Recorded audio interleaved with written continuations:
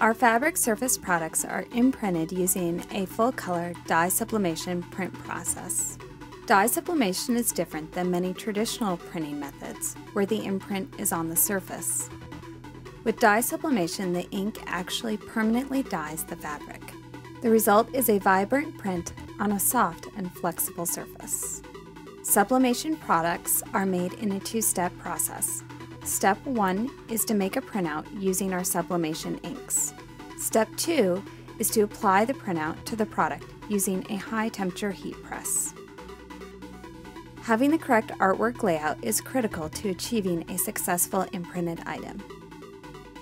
When setting up your artwork file, make sure to allow for a quarter inch bleed beyond the product size you are ordering. Because applying the print to the product is a manual process, there can be a slight shift in the registration of the print to the product.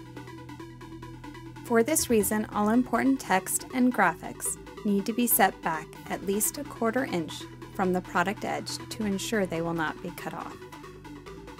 Some additional artwork tips. Most of our sublimation prints are applied to items with a white fabric surface. This is because we do not use white ink in imprinting.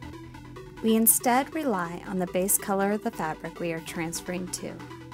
When including elements in your artwork that are white, you will want to account for some encroachment of the surrounding ink. Our dye sublimation imprint is not limited by expensive setups and per color charges, so take advantage of our full color imprinting. Don't limit yourself with the traditional one and two color art layouts. Instead, add the color that will make your advertisement stand out. Give us a call at 866 404 5267 or visit us online at custommousepad.com today. We look forward to assisting you.